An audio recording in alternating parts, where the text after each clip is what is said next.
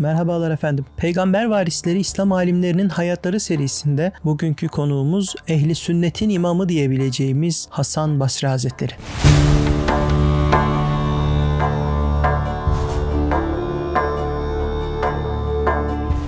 İslami ilimlerin tümünü derinden etkilemiş, bu ilimlerin kesişim noktası sayılabilecek özel bir isim Hasan Basri Hazretleri ve biz bugün kendisinden bahsedeceğiz. Hasan Basri radıyallahu an Allah Resulü'nün vefatından 11 sene kadar sonra Hicri 21 miladi 642 yılında Medine'de doğdu. Ailesi aslen Iraklı ve Irak'ın Müslümanlarca fethinden sonra Medine'ye getirilen esirlerdendi. Babası Yesar, Enes bin Malik'in, annesi Hayre de Efendimiz Aleyhisselatu Vesselam'ın eşi Ümmü Seleme validemizin azatlısı ve hizmetkarıdır. Yani her ikisi de azat edilmiş kölelerdir. Bu nedenle Hasan Basri de teknik olarak köle statüsünde doğmuştur. Ancak bizim köle denilince zihnimizde oluşan çağrışımların saadet asrındaki kölelerle pek ilgisi yoktur. O devrin köleleri hane halkından yani aileden sayılmaktadır. Hasan Basri'nin de yetiştiği ortam sahabe efendilerimizin önde gelenlerinin yuvaları olmuştur. Mesela Efendimiz Aleyhisselatu Vesselam'ın eşlerinden Ümmü Seleme validemizin Hasan Basri ile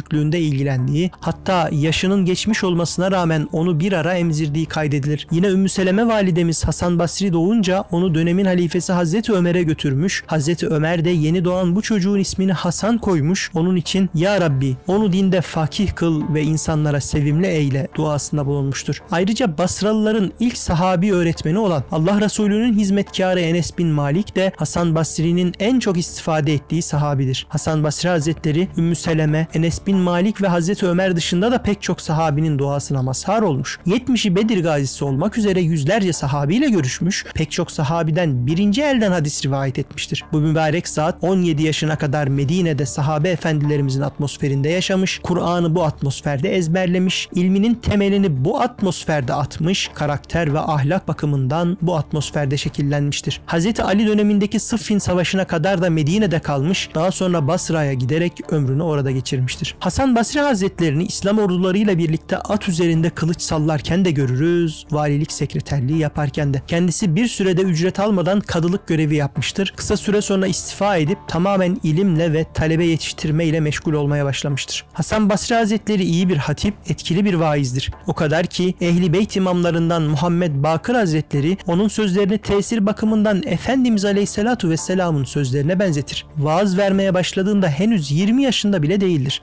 Hz. Ali Efendimiz de onun vaazına şahit olmuş, kendisini takdir etmiştir. Hatta Hz. Ali Cemel Savaşı'ndan sonra bir süre ikamet ettiği Basra'da camilerde asılsız hikayelerle insanları cezbeden kıssacıları kovdurmuş ancak Hasan Basri Hazretlerinin vaaz vermesine izin vermiştir. Hasan Basri radıyallahu an İslam'ın en sahih haliyle yaşandığı sahabe ikliminde yetişmiş bir alimdir. İslam'a yeni giren toplulukların veya İslam'ı sahabe ölçüsünde bir ciddiyetle ele almayan insanların varlığı onun için ciddi bir dert ve ıstırap olmuştur. Bu nedenle bu mübarek zat ashab-ı kiram efendilerimize derin bir özlem duyardı. Hani meşhur bir söz vardır. Siz sahabeyi görseydiniz onlara deli derdiniz. Onlar sizi görselerdi bunlar Müslüman değil derlerdi diye. İşte bu söz Hasan Basri Hazretlerine aittir ve sözün tamamı şu şekildedir. 70 Bedir gazisine yetiştim. Siz onları görseydiniz deli sanırdınız. Onlar da sizin iyilerinizi görselerdi artık ahlakın kalmadığına hükmeder. Kötülerinizi görselerdi bunların hesap gününe bile inanmadıklarını söylerlerdi. Evet sözün tamamı bu şekildedir ve dikkat ederseniz bu söz hicretten 110 sene sonra vefat eden bir zat tarafından söylenmiştir. Bu sözü bizim tabi'in neslinden daha çok üzerimize almamız gerekir. Hasan Basri Hazretleri olanca ilmine, ahlakına, imanda derinliğine rağmen akıbet endişesiyle kıvranan bir insandır. Büyüklerde büyüklüğün asıl göstergesi ilim, şöhret veya nüfus sahibi olmak değil, kul olma şuurunu canlı tutmalarıdır ki bu canlılığı da biz onlardaki akıbet endişesinden, kendini küçük görmekten, Allah korkusu ve hüzünden tanırız. Bu açıdan bakıldığında Hasan Basri Hazretlerinin iç dünyasında korku ve hüzün kavramlarının esas olduğu görülür. O Allah'tan öyle haşyet duyar, amellerinin boşa gideceğinden, öldükten sonra kötü karşılanacağından o kadar korkar ki onu anlatanlar sanki cehennem sadece kendisi için yaratılmıştı derler. Onun bu konudaki hal ve sözlerine bakılınca bu kadarı da fazla dedirtecek hallere ve sözlere rastlanır. Her büyük zatta görülen ve büyük zatları büyük yapan akıbet endişesi Hasan Basri Hazretlerinde de bütün kemaliyle kendini gösterir. Sahabe ikliminde başladığı hayatını istikamet içinde devam ettiren ve kendisini hakkı ve hakikati anlatmaya adayan, iç dünyasından yansıyanlara vakıf olanların şahitliğine göre zühd, hüzün ve korku eksenli yaşayan, ehli sünnet itikadının ilmi anlamda temel harcını atanlardan olan bu büyük saat, Hicri 110, miladi 728 yılının Recep ayında Basra'da vefat etmiştir. Allahu Teala'dan kıyamete kadar her gün onun halen açık olan amel defterine bize bıraktığı ilim mirasının harfleri adedince hasenat yazmasını niyaz ederiz. Hasan Basri Hazretlerinin İslami ilimlerdeki yerine geçmeden önce kendisinin döneminde yaşanan toplumsal olaylar karşısındaki duruşuna göz atmak yerinde olacaktır. Hasan Basri, Hazreti Osman'ın şehit edilmesine, Cemel ve Sıffin savaşlarına, Kerbela hadisesine, Haccac'ın ve Yezid'in zulümlerine bizzat şahit olmuştur. Onun bu olaylar karşısındaki tavrını tek bir kelimeyle özetlemek gerekirse tarafsızlık veya pasifizm değil, denge kavramını kullanmamız gerekir. Çünkü Hasan Basri Hazretleri ne zalimlere en ufak bir meyilde bulunmuş ne de mazlumların silaha sarılmalarına taraftar olmuştur. Ne zulümler ve haksızlıklar karşısında suskun kalmış ne de insanları ayaklanmaya çağırmıştır. Emevi zulmüne karşı silahlı isyana kalkışanlar Hasan Basri Hazretlerini de kendi saflarına çekmek için ona ısrarlı tekliflerde bulunmuşlardır. Ancak onun bu insanlara verdiği karşılık şu olmuştur. Allah bir insanı huruçla değil tevbe ile değiştirir. Huruç askeri harekat, silahlı mücadele demektir ve Hasan Basri Hazretleri şiddetin, kılıcın, silahın çözüm olmadığından emindir. Ancak o hiçbir zaman Emevilerin de savunucusu olmamıştır. Hatta bazı kaynaklarda Emevilerin zulmünden Hasan Basri Hazretlerinin de hissesini aldığı, bu nedenle kendisinin iki sene kadar takibata uğradığı ve bir arkadaşının evinde firar hayatı yaşadığı anlatılır. Bazı kaynaklara göre de bu bir hapis hayatıdır. Ancak o yine de zulme karşı direnmekten geri durmamıştır. Bununla birlikte bu direnişi kitleleri yönetime karşı kışkırtarak veya eline silah alarak yapmamıştır. Onun direnişi direnişlerin belki de en akıllıcası diyebileceğimiz bir tarzda olmuştur. Yani Hasan Basri Hazretleri insanların siyasi fırtınaların da etkisiyle bozulan iman ve amellerini ıslah etmeye, talebe yetiştirmeye, Kur'an'ın nurunu ve İslam'ın hakikatini canlı tutmaya çalışmıştır. Asıl direniş ve dik duruş da bu olsa gerektir. Dışarıdan bakan birisi Emevi yöneticilerini bu kadar sert eleştiren birinin onlara karşı eline silah alıp isyan etmemesine şaşırır. Gerçekten de onun bu tavrını kendi döneminde bile anlamayanlar olmuş, onu zulümler karşısında pasif davranmakla suçlamışlardır. Ancak Hasan Basri Hazretleri silahla isyan etmeyi gerçekçi bir çözüm olarak görmez. Çünkü asıl sorun daha derindedir. Yöneticilerin zulmü bir sebep değil bir sonuçtur. Asıl sebep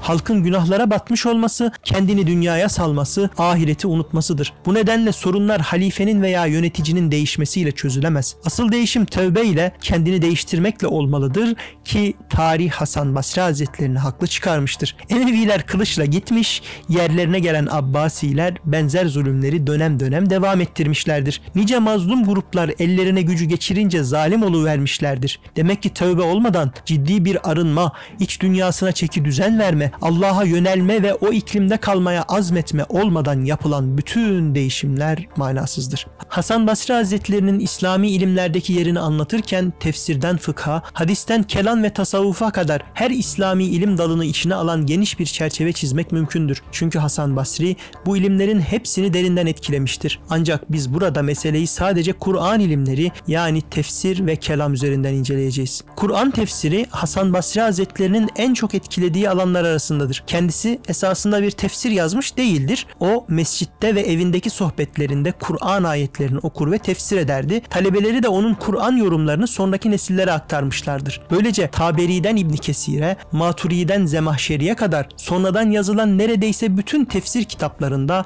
onun görüşlerine de yer verilmiştir. Dikkat edilmesi gereken nokta şudur ki Hasan Basri Hazretleri Kur'an'ı hayatın tam içinden tefsir etmektedir. Bu yönüyle Kur'an'ı hayatın içine katma ve hayatı Kur'an'la bereketlendirme adına kendisinden öğreneceğimiz çok şey vardır. Çünkü o vahye bizzat şahit olan sahabe efendilerimizin ikliminde yetişmiş, hayatını Kur'an'la hayatlandırmış, hayatının merkezine Kur'an'ı koymuş nadir insanlardandır. Bu nedenle de biraz dertlidir. Çünkü kendi döneminde dahi insanların Kur'an'la ilişkilerinin gerektiği gibi olmadığını düşünmektedir. Mesela insanlara Kur'an'la amel etmeleri emredildi, insanlar onu okumayı amel edindiler. Sözü önemlidir çünkü günümüzde de bu alışkanlık yani Kur'an'ı sadece telaffuz etmek, bırakın ayetlerle amel etmeyi, ayetlerin manasını bile düşünmeye gerek görmemek gibi çok önemli bir sorunumuz vardır. Kur'an'dan nasıl istifade edebileceğimize dair Hasan Basri Hazretlerinin pek çok sözüne, görüşüne rastlamak mümkün. Ancak onun önerdiği yöntemlerden özellikle bir tanesi bizim için hayati derecede önemlidir. Bu yöntem kendini Kur'an'a arz etme yöntemidir. Bununla ilgili Hasan Basri Hazretleri kim ne olduğunu bilmek isterse amelini Kur'an'a arz etsin der. Bir başka yerde de Allah nefsini Allah'ın kitabına arz eden kuluna rahmet etsin buyurur. Bizler yani az çok Kur'an okuyanlar herhangi bir konuda Kur'an'ın ne dediğini merak edip ilgili ayetleri araştırmaya alışmışızdır. Ancak kendimizi tanımak adına kendimizin ne olduğunu bilip anlama, içinde olduğumuz durumu fark etme, Allahu Teala'nın bize o anda hangi gözle baktığını bir parça da olsa anlayabilme, gerçek kıymetimizin ne olduğunu öğrenebilme adına kendimizi Kur'an'a arz etme pek alışık olduğumuz bir uygulama değildir. Ancak anlıyoruz ki sahabe Kur'an'ı asıl bu gözle okumuştur. Sahabenin dizinin dibinde yetişen tabi'in de Kur'an'ı bu gözle okumuştur. O halde Kur'an asıl bu gözle okunmalıdır. Yaşanıp geçen bir günün ardından yaptığımız veya yapmayı planladığımız önemli işlerimizin öncesinde, ortasında ve sonunda, kritik kararlar alma aşamasında, kararsızlık anlarımızda Kur'an'a ne kadar başvuruyoruz? Başımıza bir bela ve musibet geldiğinde gösterdiğimiz tavırlar, özel veya büyük nimetlerle karşılaşınca gösterdiğimiz refleksler, depresyondayken veya yaşama sevinciyle dolup taştığımız anlardaki davranışlarımız Kur'an'a ne kadar uyuyor? Zaaflarımız, alışkanlıklarımız, eğilimlerimiz, duygu ve düşünce dünyamız hakkında Kur'an ne diyor? Kur'an kendisine danışılmayı bekleyen aldatmaz bir yaşam koçu gibi belki raflarımızda, belki güzel bir kutunun içinde, belki de duvarda asılı bir şekilde bizi bekliyor. Bazı Emevi yöneticileri halkın da itirazlarına neden olan bazı politikalarını meşru göstermek için kader kavramına sığınmışlardır. Onlara göre Emevi iktidarının bütün uygulamaları insanların kaderidir. Dolayısıyla yöneticileri suçlamak yanlıştır. Bu durum cebriye dediğimiz bir kader anlayışıdır ve resmi politika veya resmi ideoloji haline getirilmiş gibidir. Buna göre kader karşı konulamaz ilahi takdirdir. Bir yöneticinin başa gelmesi, devlet adamlarının uygulamaları ve benzeri her şey ilahi takdirle olmaktadır. Bu durumda Hz. Hüseyin'in şehit edilmesi de, Haccac'ın Kabe'ye mancınıkla saldırması da, o dönemde halen yaşayan bazı sahabilere zulmedilmesi de kaderdir ve bunlara karşı çıkılmamalıdır. Bu anlayışın çarpıklığı ortadadır. Bugün bunu tartışmaya bile gerek yoktur. Ancak bu anlayışın tartışmaya bile gerek olmayacak kadar çarpık bir anlayış olduğunu bilmemiz Hasan Basri gibi alimler sayesinde olmuştur. Hasan Basri Hazretleri bu kader anlayışını açık bir dille eleştirmiş. Bu iddianın sahipleri için de Allah'ın düşmanları yalan söylüyorlar sözlerini sarf etmiştir. Onun bu eleştirileri dönemin Emevi Sultanı Abdülmelik bin Mervan'ın kulağına gider ve Abdülmelik Hasan Basri Hazretlerine kader konusundaki görüşlerini açıklamasını ister. Hasan Basri de Abdülmelik'e halen elimizde bulunan uzunca bir mektup yazar. Bu mektup bugün Kader Risalesi adıyla yayımlanmıştır. Bu mektupla Hasan Basri Hazretleri Ehl-i Sünnet ekolünün bugünkü genel kader anlayışını da oluşturan görüşlerini uzun uzun izah eder. Konuyla ilgili ayetleri yine başka ayetlerle açıklar. Sonuçta Ehl-i Sünnet'in kader anlayışı Hasan Basri Hazretlerince yalın ve tutarlı bir şekilde açıklanmış, vüzuha kavuşturulmuş olur. Bugün yokluğunu derinden hissettiğimiz, aradaki yüzlerce yılın getirdiği uzaklık hissiyle kendisine sadece hayran kalabildiğimiz, İslam'ın yetiştirmek istediği ideal kamil insan modelinin en önemli örneklerinden birisini Gönüller Sultanı Hasan Basri radıyallahu anh'ı yakından tanımaya gayret ettik. Bu zatlar bugün hayatta değiller ancak gittikleri istikamette geriye bıraktıkları izler, eserleri halen elimizde ve bize düşen o izleri takip ederek yürümekten başkası değil. Allah Teala'dan namazlarımızda günde en az 40 kere dilediğimiz gibi bizleri kendilerine nimet verilenlerin bu sadık ve salih kullarının yürüdüğü yolda yürütmesini diler diler ve dileniriz. Müzik